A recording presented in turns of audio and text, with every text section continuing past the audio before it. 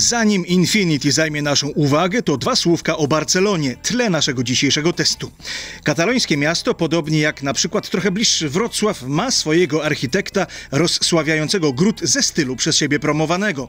Wrocławski Max Berg, a więc hala ludowa, elektrownie wodne i kilka innych dzieł, to barceloński odpowiednik słynnego Antoniego Gaudiego, jego katedry Sagrada Familia i kilku innych fantastycznie dziwnych budynków, przy których ciągle sterczą turyści.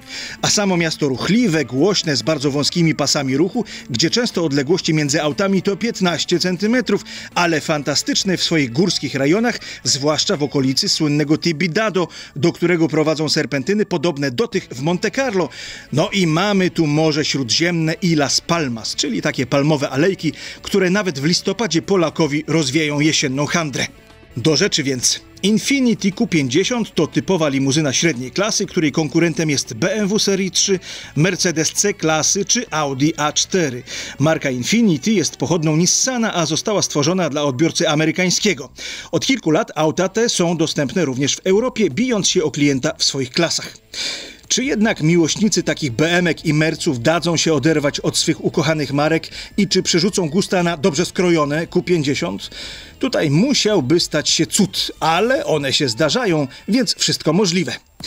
Jak się tym jeździ? No, jeździ się hybrydowo lub dieslowsko, a benzynowo jeszcze nie, bo w ofercie na Polskę brak V6 oferowanej w wersji oryginalnej w USA.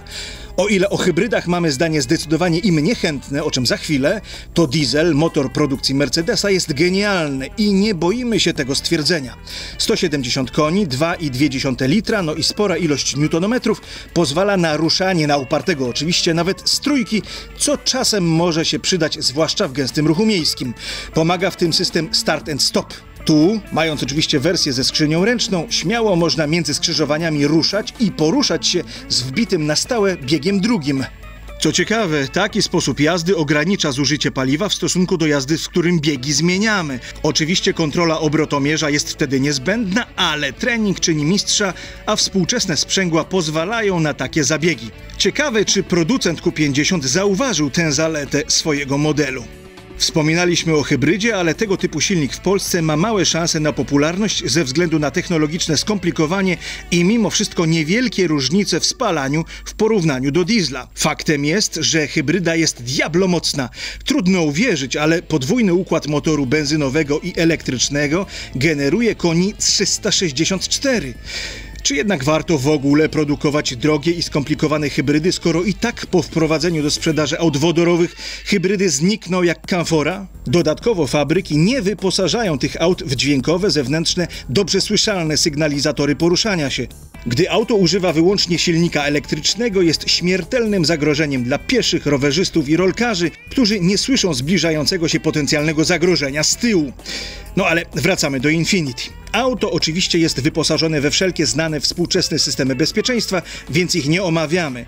Na koniec o komforcie, który wydaje się większy od tego, który oferują w podobnej klasie, no generalizując Niemcy.